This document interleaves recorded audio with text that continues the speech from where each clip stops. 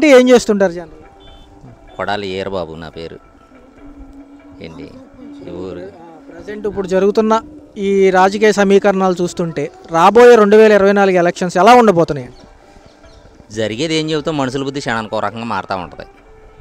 ఏంటి ఈ గ్రామానికి సర్పంచ్ని నేను. మేము ఎక్కేసేటప్పుడు ఈ చెరువు మరి ఇప్పుడు ఎట్లా ఉంది? ఎంతకన్నా దారుణంగా ఉంది. ఏంటి గవర్నమెంట్ ఆఫీసర్లు ఎస్టిమేషన్ ఇవ్వండి ఎస్టిమేషన్ ఇవ్వండి అని అంటే వాళ్ళు ఎప్పుడుకో ఆరు నెలలకు ఇచ్చారు. ఆరు నెలలకి బాగు చేస్తే లక్ష అరవై వేలు అయినాయి. బిల్లు పెట్టేది లేదు. ఇంతవరకు రూపాయి రాలా. మళ్ళీ చెరువు పాడైపోయింది. ఆ నీళ్ళు మాది మంచినీళ్ళ చెరువు అదే. దాన్ని ఎట్ట బాగు చేయాలి? ఏదన్నా ఆపేసని రండి అని అంటే వాళ్ళు రారు. పోనీ ఏదన్నా అధికారం సాయం సాయం అడుగుదామంటే చెయ్యరు అంటే రెస్పాన్సిబిలిటీ లేదంటారా? ఏముంది? ప్రజలకు లోన్లు వేస్తున్నాం అంటున్నారు. లోన్లు ఎత్తే సరిపోయిద్దా? లోన్లు ఎత్తే సరిపోయిద్దా? ఇక్కడ గుంట పడిద్ది. లోన్ ప్రజలకి వేస్తున్నాం వాడు తల ఒక వెయ్యి ఒక వంద రూపాయలు తీసేవాడని పుడతాడా? ఎవడో పోడవడు. గ్రామ సర్పంచ్కి చేసేది? జగన్ గారు వేసే లోన్లన్నీ వీళ్ళు దొబ్బుతున్నారు. ఆయన ఏతనాడు వీళ్ళు తీసుకుంటున్నారు. ఏంటి? ఏతనాడు తీసుకుంటున్నారు. కానీ శుభ్రం ఎవడు చేయాలి? ఊరు శుభ్రం ఎవడు చేయాలి? ప్రభుత్వంలో సమాధానం చెప్పే అవకాశం కూడా లేదంటారా? అసలు ముందర రావట్లేదు ముందల. ఇప్పుడు ఆఫీసర్ మీ ముందర ఫోన్ చేస్తాను ఏదన్నా ఆఫీసర్కి. వస్తాడేమో చూడండి. అంటే అంత నిర్లక్ష్యం ఎందుకంటారు జనరల్గా అసలు? ఏంటి? కారణం ఏంటి? కారణాలు ఏం చెబుతావు? వాళ్ళ మనసులో ఏముండి వచ్చిందో వాళ్ళకి వాళ్ళకి నువ్వే నువ్వెందుకు వెళ్ళలేదురా అని అడిగేవాళ్ళు లేరు. మీకెందుకు మేము ప్రజలకు వేస్తున్నాం అనేది ఒకటి. ఇప్పుడు నాకు పిల్లలు ఏడుగురు పిల్లలు నాకు. నేను సంపాదిస్తా. పిల్లలు జేబులో పెడితే సరిపోద్దా? మీరు తినండి తిరగండి సరిపోద్దా? చదివియాలిగా?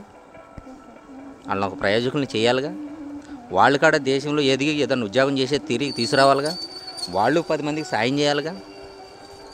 అదే కదా కావాల్సింది? ప్రతి దాని గురించి అవగాహన ఉండాలి బాధ్యత తెలియాలి. బాధ్యతలు ఉండాలిగా తెలియాలి కదా? నేను సంపాదించుకొచ్చేసి వాళ్ళకి జేబులో పెట్టి తిరగండి మీకు మీకు డబ్బులు ఇస్తున్నాను కంటే వాళ్ళు ఏమవుతారు? బజార్లు అమ్మటే తిరుగుతారు షీర్మాలు అమ్మటే తిరుగుతారు షికార్లు చేసుకుంటా ఏమవుతుంది? గాలితాను అవుతుంది. అవునా? నువ్వేతనం అమ్మఒడేతనం పద్దెనిమిది సంవత్సరం పద్దెనిమిది ఏళ్ళు నలభై ఐదు ఏళ్ళు చేదవుతా అంటున్నావు.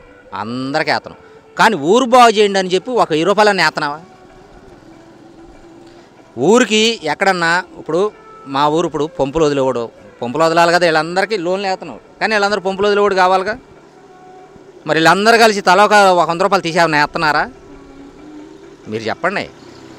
తలా వంద రూపాయలు తీసామన్నా ఆ జీతాలు మరి మనం మన ఊరు మీద ఉన్నాడు కదని ఏమన్నా ఒక వంద తల ఒక వంద రూపాయలు ఎత్తనారా ఎత్తలేదుగా? ఆడికి ఎవడు ఇవ్వాలి? మా పంపు రావట్లేదండి అని సర్పంచ్ని అడుగుతున్నారు. సర్పంచ్కి మరి సర్పంచ్ వదల సర్పంచ్ వదలడు కదా? గ్రామాధికారి సర్పంచ్ వదలడుగా? మరి ఆడు ఎవడన్నా ఒక మనిషిని పెట్టాలిగా? ఆ మనిషికి డబ్బులు?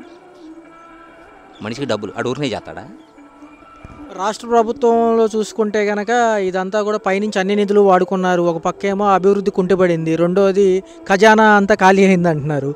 ఆఖరి పంచాయతీ నిధులు కూడా వాడుకున్న రోజులు ఉన్నాయి. దీని గురించి ఏమంటారు సార్? మరి అయితే ఇప్పుడు పంచాయతీ నిధులు లేని ప్రజలకి నువ్వు వేసే డబ్బులు పెట్టి వాళ్ళు వాళ్ళు సరిపెట్టుకుంటారా? వచ్చి చెరువులోకి వెళ్ళి ముంచుకో ముంచుకెళ్తారేంటి పంపులు ఆపేస్తాను. అడిగి జీతాలు అయితే డబ్బులు లేవు. నేను పూటకు ఒక డ్రెస్ వేసుకుని సరదాగా తిరిగి వచ్చేవాడిని. బండి వేసుకుని. ఇవాళ ఈ పంచాయతీ పదవి ఎక్కిన తర్వాత ఎక్కిన తర్వాత ఇంతవరకు ఒక డ్రెస్ కుట్టించుకోవాలి నేను.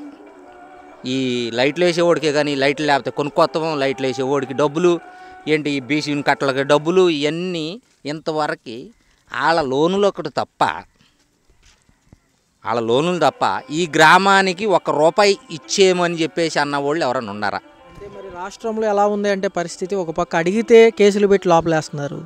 రెండోది ప్రశ్నిస్తే సమాధానం లేదు ఒక పక్క నుంచి. మీరెవరు అడుగుతాకంటున్నారు ఇంత వి వికు వికృతమైన పాలన ఇంతకుముందు ప్రజలు చూశారంటారా?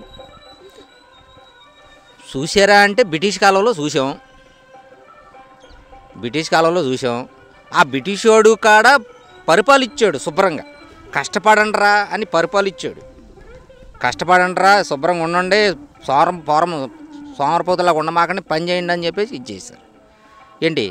ఇప్పుడు ఎవడి పని ఆడు చేసుకుంటున్నాడు? కానీ ఆయన వేస్తున్నాడు ఏ ఆయన వేసిన వాళ్ళు ఎవరన్నా సరే ఒక వంద రూపాయలు ఇచ్చి గ్రామానికి ఉపయోగిస్తానికి ఏమన్నా ఒక ఒక రూపాయి ఇస్తున్నారా